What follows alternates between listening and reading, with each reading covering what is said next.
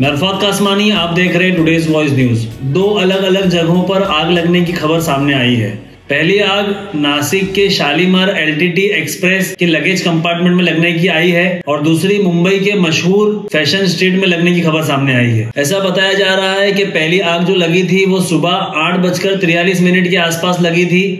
Railway से मिली सूचना के अनुसार आग लगने के बाद फ़ौरन लगेज कंपार्टमेंट को पैसेंजर कंपार्टमेंट से अलग कर दिया गया था। हालाँकि पैसेंजर कोचेस पर इसका कोई ज़्यादा असर नहीं पड़ा है। अब बात करेंगे दूसरी आग की। दूसरी आग मुंबई के कपड़े, जूते, चप्पल की मशहूर मार्केट फ़ैशन स्ट्रीट में लगी, जो कि आज़ाद मैदान और फोर्ट के करीब है। ये मार्केट काफ़ी कंजेस्टेड है और सारी दुकानें एक दूसरे से जुड़ी हुई है। इसमें भी आग लगने से काफ़ी माली नुकसान हुआ है।